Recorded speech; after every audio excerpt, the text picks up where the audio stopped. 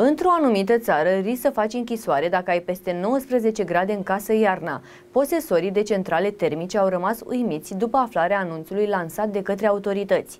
Urmează o perioadă critică în privința consumului și distribuției energiei. Autoritățile încearcă să ia măsuri din ce în ce mai dure pentru a reduce consumul de energie electrică.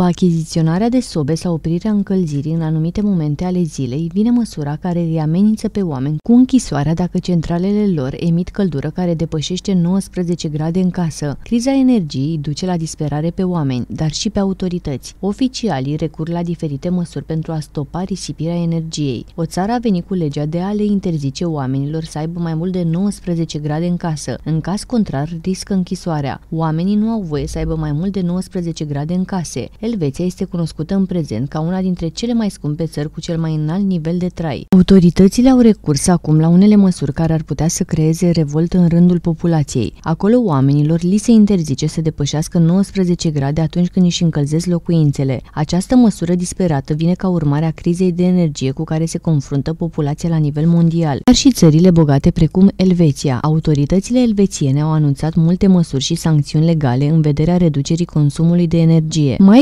exact, închisoarea este una dintre cazurile luate în considerare doar în cazul unei crize energetice grave. Așadar, hotărârea raționalizării gazelor în Elveția nu este o măsură deja luată, însă este una dintre cele luate în considerare în cazul unui scenariu negativ. Oficialii vor să îi liniștească pe oameni și spun că vor impune limite în ceea ce privește consumul de energie doar în cazul birourilor publice și private sau încălzirea spațiilor neutilizate. Mai mult decât atât, se va interzice utilizarea piscinelor și saunelor care necesită încălzire încălzire. Această măsură se va lua în cel mai grav scenariu. Dacă lucrurile se agravează, se va urma interzicerea încălzirii locuințelor la o temperatură mai mare de 19 grade, iar apa la maxim 60 de grade. În plus, nu se vor putea folosi nici radiatoarele. Cei care vor trece cu vederea aceste măsuri vor putea să facă închisoare până la 3 ani și până la 180 de zile de amendă, relatează sursebune.com.